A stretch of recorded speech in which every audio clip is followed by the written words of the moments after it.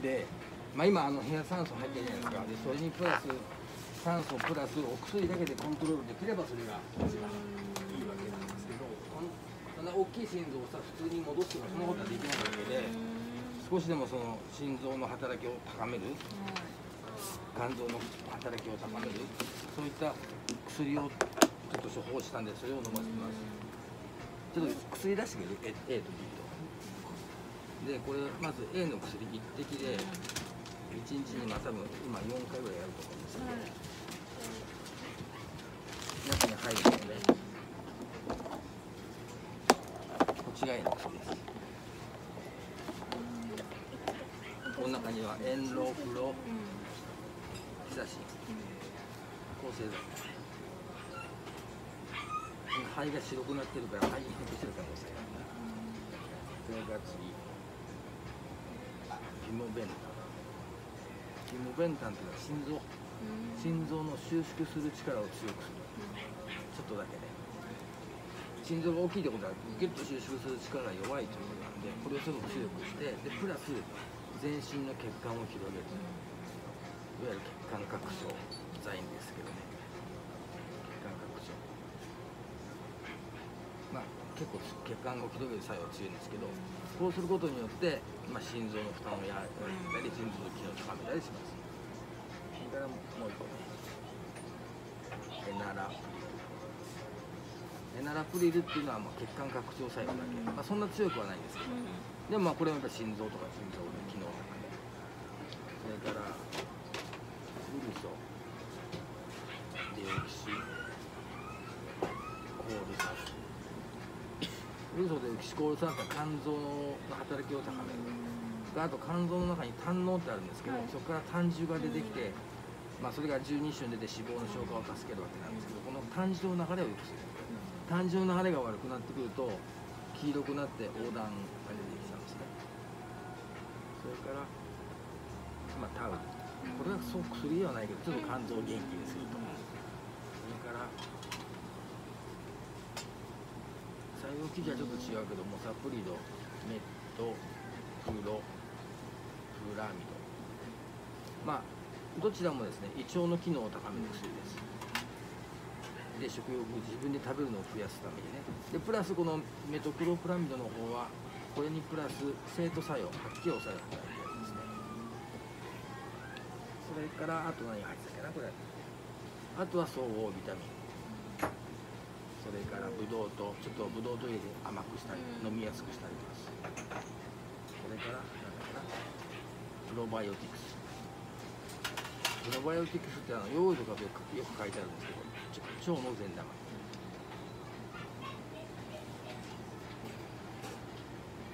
善玉腸の善玉菌を補って腸の環境が良くなっていいうんちが出るようになると自分で治す力免疫力が高まると言われともう一個です。ねアガリクス。アガリクスっていうのはキノコなんですけど私たちが食べるシイタケもそうですけどベータグルカンという成分が入ってるんですねキノコには。でこのベータグルカンがやっぱり自分で治す力を高めてくれます。これをまず一つ飲ませるのともう一個 B の薬ね。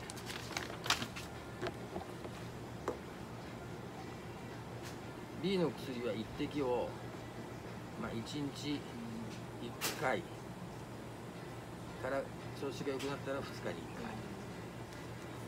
何が入ってるかっていうとプレドニゾロン。プレドニゾロンっていうのは消炎鎮痛剤。炎症を鎮める薬。消炎鎮痛剤もですね大きく分けると2つ。ステロイドとステロイドじゃない。ステロイドの方です。だからそちらの方がより効果が強い。ステロイド。テロイドホルモンステロイドホルモンの中の一番よく使うのがフジンスホルモン。なんですけどフジンスホルモン。の中で一番よく使うのがプレドニゾロンあの鳥もだけど人間もそうですねこれが一番よくでやっぱり作用も強いけど副作用のことが心配じゃないですか。でまあとにかく一番いいのは一番消炎鎮痛作用があることとそれから多食になる。よく食べるようにな。るそれからよく飲むこういうのは出てほしいですね相当おしっこもたくさん出るこういうのがであと消炎鎮痛だから苦しい呼吸が苦しいのも助けてくれるしあと赤血球を赤血球の膜を保護するというのかな。赤血球を保護する働きがありますじゃあダメな方ねダメな方は感染に対して弱いとステロイドを使うとね感染に弱いと。でまあそれを防ぐために抗生剤をちょっとしっかり飲ませておくと。それからあとは長期投与。毎日を2週間以上はい。飲んじゃうとこれ長期投与になるわけなんですけどこれでねこうこれが一番問題なんですけど例えば皮膚が薄くなるとかねステロイド性の過過呼吸がまた呼吸口開けで呼吸しちゃうとかですね。あと神経症状転換みたいなのが起きるとかですね。うんエトセトラいろいろあります。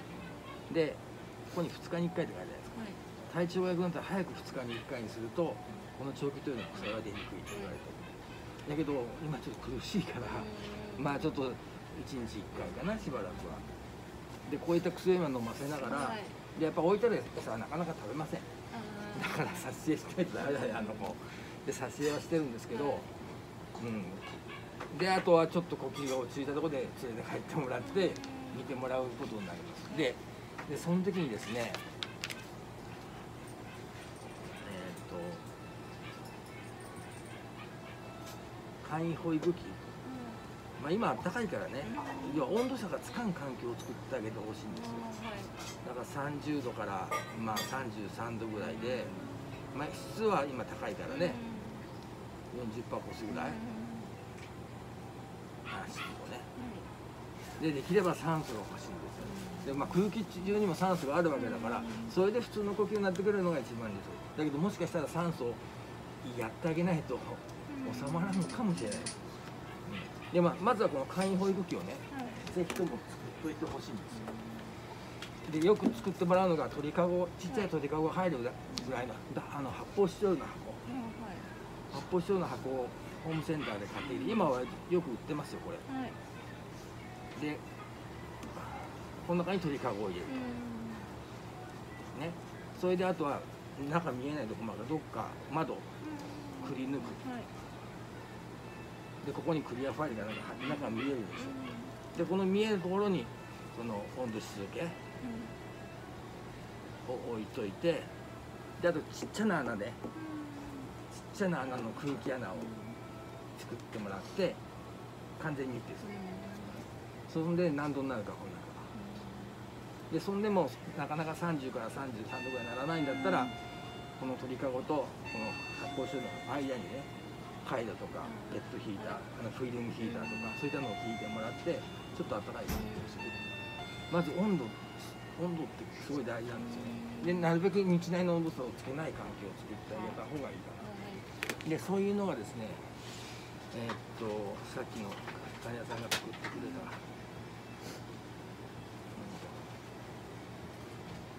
この小鳥のとこもね。